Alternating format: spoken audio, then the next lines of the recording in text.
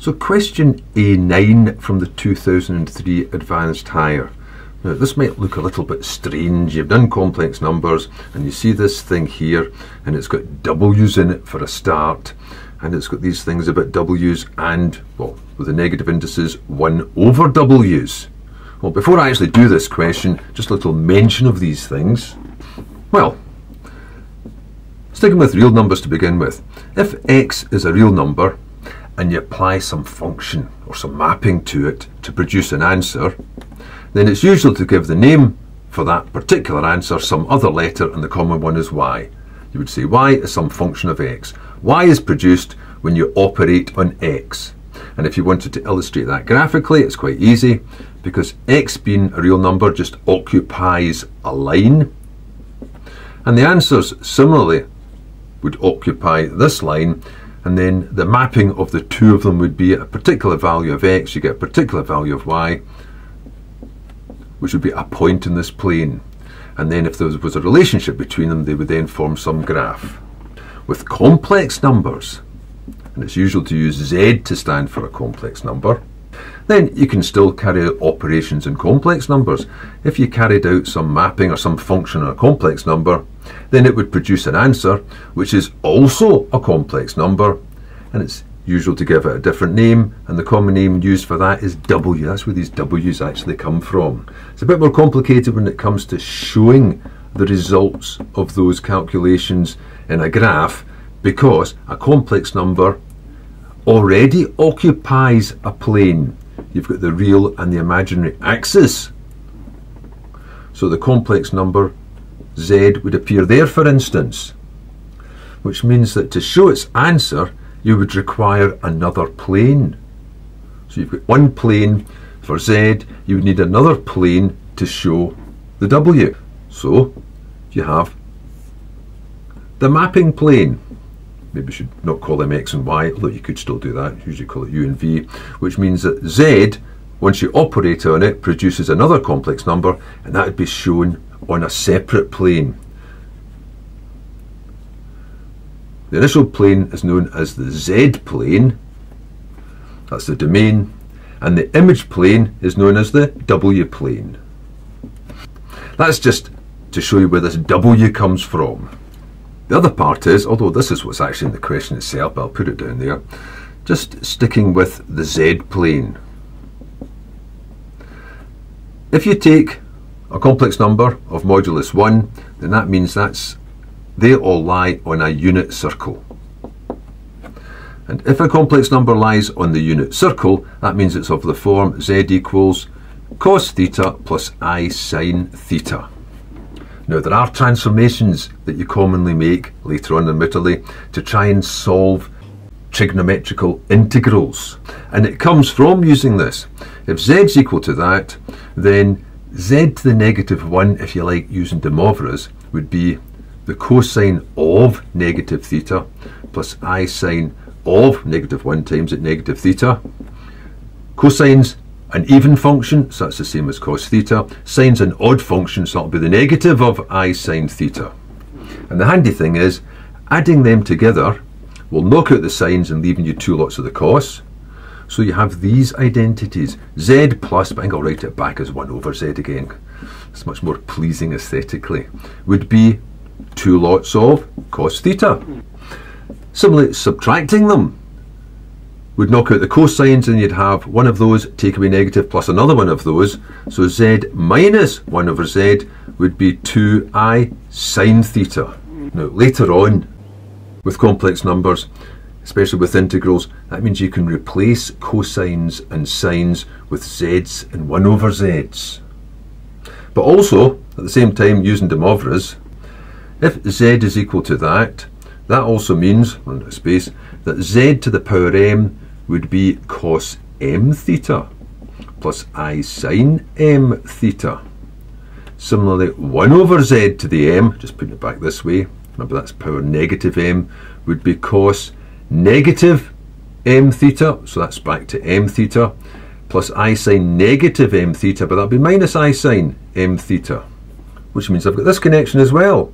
If you add them, the signs will disappear, So z to the m plus 1 over z to the m would be just, still just two lots of cos m theta. Adding them means you've got two of those.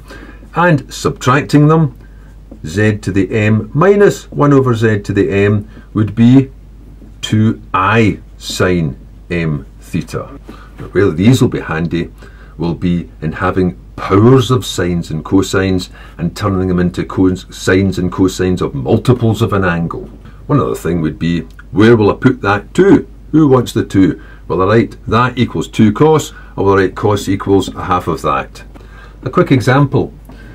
If I had sine theta cos theta in an integral, I know you know this. The whole point about this is using these, you don't need to know any of the trig identities to be able to change things. You can use these transformations here.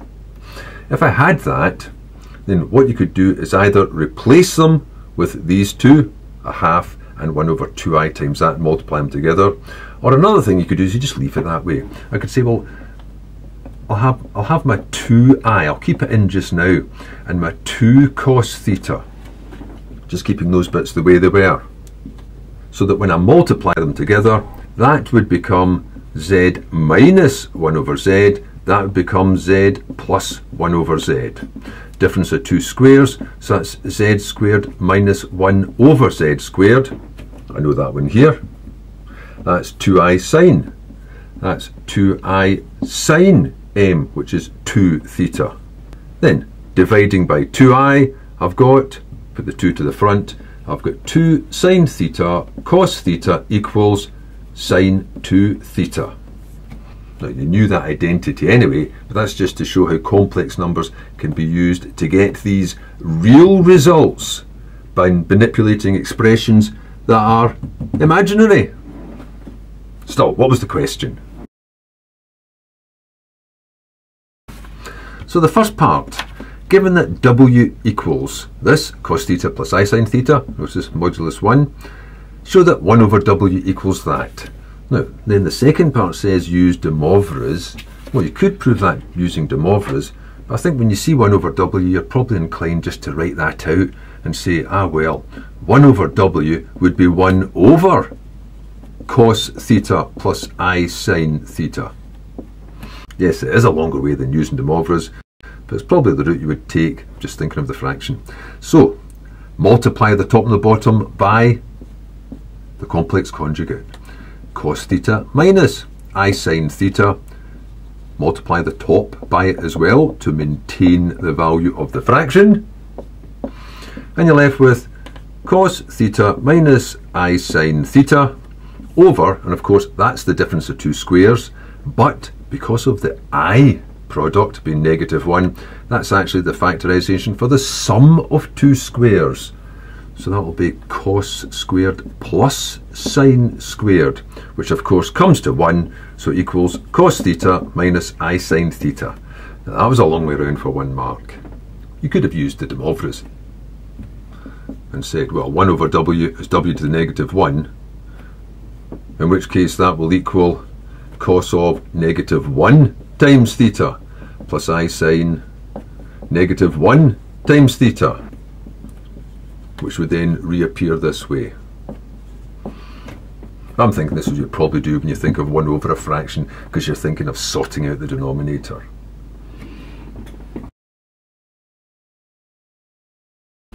Next bit.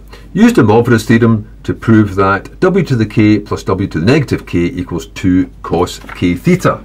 Well, you had that w was equal to cos theta plus i sine theta. So that to the power k would equal cos k theta plus i sine k theta. And you had that w to the negative k would be cos theta plus i sine theta to the power negative k, which will be the cosine of, maybe I should put it in just now, negative k theta plus i sine negative k theta which equals cos k theta plus i sine k theta plus cos k theta because it's even minus i sine k theta because it's odd they'll cancel out and leave you with 2 cos k theta. So w to the k plus, I'm going to write it as 1 over w to the k equals that. That's just one of those standard results that are used later on when you're doing what's known as complex analysis. That just means analysis using complex numbers. Now the last part. Expand w plus w to the negative 1, I've just written that as 1 over w to the power 4 by the binomial and hence show that this is the case. And of course this is where it's used to turn powers of a trig for integration purposes because you can't integrate that directly into sums of sines and cosines of multiple angles which you can do because they're just functions of a simple linear expression. Well, binomial. So I'll just mean go through the binomial one. If you don't remember the coefficients, you could throw down Pascal's triangle 1 1, 1 2 1, 1 3 3 1, 1 4 6 4 1.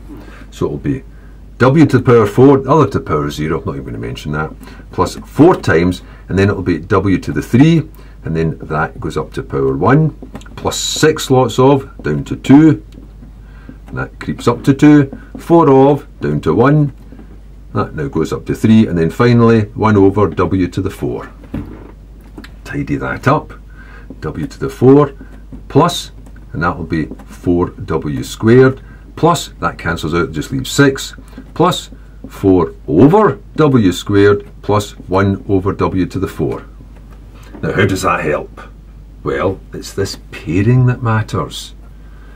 A w to the k plus a 1 over w to the k go together to make a cosine.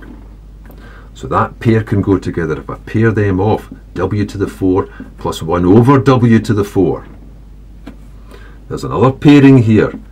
There's 4 of each of those, 4 times w squared plus 1 over w squared. And then there's that 6. That's what's equal to this. And then you think, well, what are these different patterns? They're all cosines. A w plus a 1 over w to some power is a cosine of a multiple angle. So that's one as well. That would be when you've just got power 1. That would be simply cos theta. So for that part, remember it makes two lots of it. So that would be 2 cos theta to the power 4 equals, that's going to be 2 cos 4 theta with the power 4's in it. That's going to be 4 times 2 cos 2 theta. And that's just a v6. Almost there. 2 to the power 4. If you don't remember your powers of 2, you just use your power of 2 calculator. 2, 4, 8, 16. 16 cos to the power 4 theta equals what?